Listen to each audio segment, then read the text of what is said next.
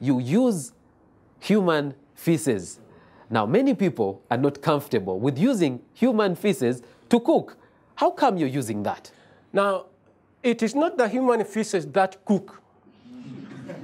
it is the product of the human feces that give out the methane gas, which we use in cooking.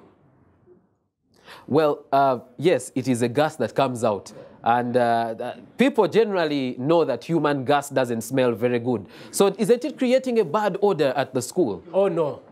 How come? Methane gas has, doesn't produce uh, a bad odor at the school. Because during the process which, to which, which it undergoes, the material in the digester is digested and it's only that gas which is produced and tapped in the gas chamber, which is then later run through the pipe system to the kitchen.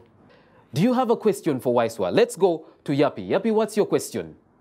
Yeah, thank you very much. I'm Yapi. I've seen people mixing it with water, and I'm wondering how much quantity of water you're supposed to use for mixing it.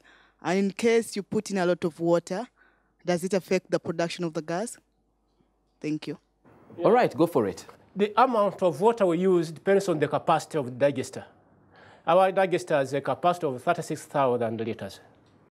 36,000 liters. Liters. And how often do you refill it? Uh, we are doing it on a daily basis.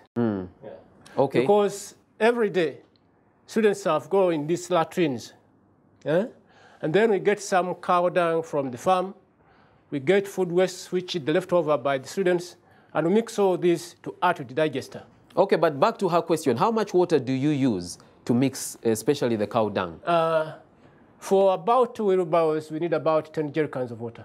For two wheelbarrows, you need 10 jerry cans of water. 10 jerry cans of water.